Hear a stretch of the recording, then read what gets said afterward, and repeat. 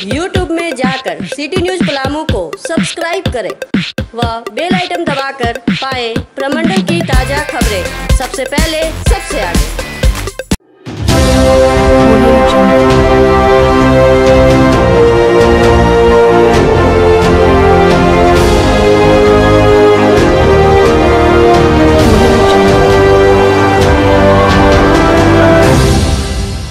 YouTube में जाकर city news Palamu को सब्सक्राइब करें। व बेल आइटम को दबाकर परमंडल की ताज़ा खबर पाएँ। सबसे पहले, सबसे आगे।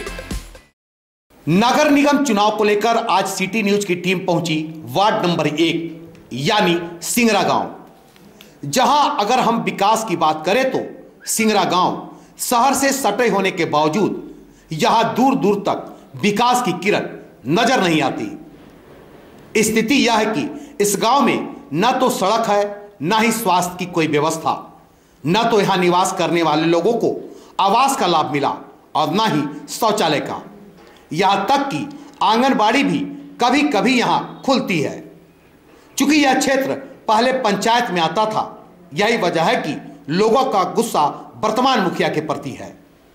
परंतु अब इस क्षेत्र को नगर निगम ने ले लिया है। मुखिया के क्रियाकलाप से आक्रोशित ग्रामीणों का विश्वास है कि नगर निगम में उनका क्षेत्र के आ जाने से उनके वार्ड का विकास होगा। आइए सुनते हैं वार्ड की जनता की कहानी, उन्हीं की जुबानी। नमस्कार दर्शकों, आप देख रहे हैं परमंडल का अपना चैनल सिटी न्यूज़। अभी हम पहुँचे हैं नगर निगम के वार्ड नंबर एक, ग्राम सिंगरा में, जहाँ की आप देख सकते हैं कि रोड यहाँ पे क्या समस्या है? रोड की काफ़ी समस्या है।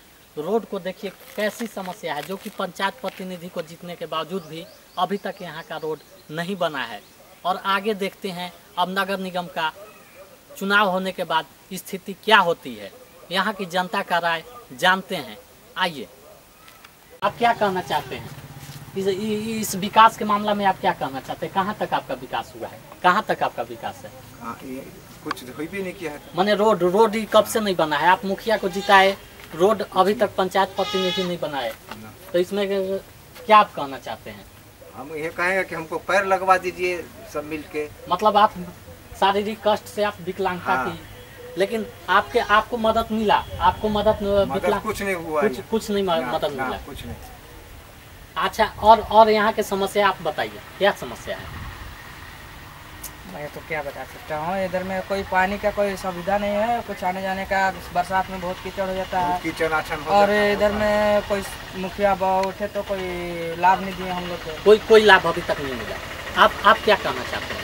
हम यही कहना चाहते हैं जो भी प्रतिनिधि हो ठीक है?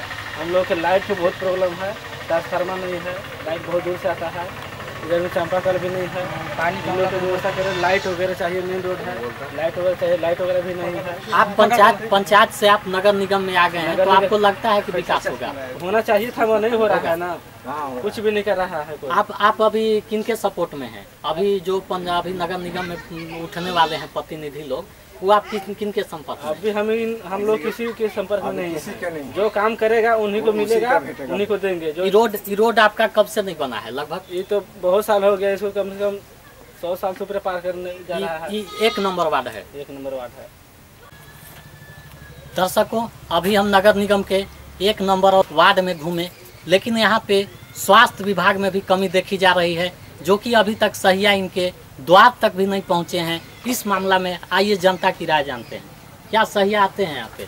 सहिया पर- आते हैं। सहिया कभी नहीं आते। कब- में जो समस्या है जो गाँव में समस्या है सहिया का तो काम है कि गाँव में गाँव घूमें थोड़ा देखें बच्चों को कलेक्ट करें और जो सुविधा सरकार दे रही है उसको भरपूर बताएँ गाँव में। जिस घर में अगर घुस करके सरकार का सुविधा बताया जाएगा तो उस घर से बच्चे नहीं निकलेंगे? भैया इस बारे में आप लोग स्वास्थ्य विभाग के प्रभारी या डॉक्टर से शिकायत किए। किससे शिकायत करने जाएँगे? कोई- कोई नहीं डॉक्टर और प्रभारी से कोई- यहाँ कोई कोई अगर बैठेगा तब ना अच्छा। आप अभी आए हुए हैं ना? अभी आप जा करके स्वास्थ्य केंद्र देखिए। अभी आपका स्वास्थ्य केंद्र बंद है। बंद है आज संडे है। ठीक है बंद है। मंडे के दिन आप आइए जिस टाइम पर स्वास्थ्य केंद्र खुलता है उस टाइम पर आप आकर के स्वतः छापा मार के देखिए कि अगर खुलता है कि नहीं। और जितना लोग हैं इस बारे में आप सबसे। चाहते हैं? सही आते हैं यहाँ पे? नहीं आता। सही नहीं आते हैं? नहीं आता। स्वास्थ्य केंद्र आप लोग आपका खुलता है? नहीं बंद रहता है। बंद रहता है। मैं कैमरामैन संतोष पांडे के साथ मैं सुधाकर पांडे सिटी न्यूज़।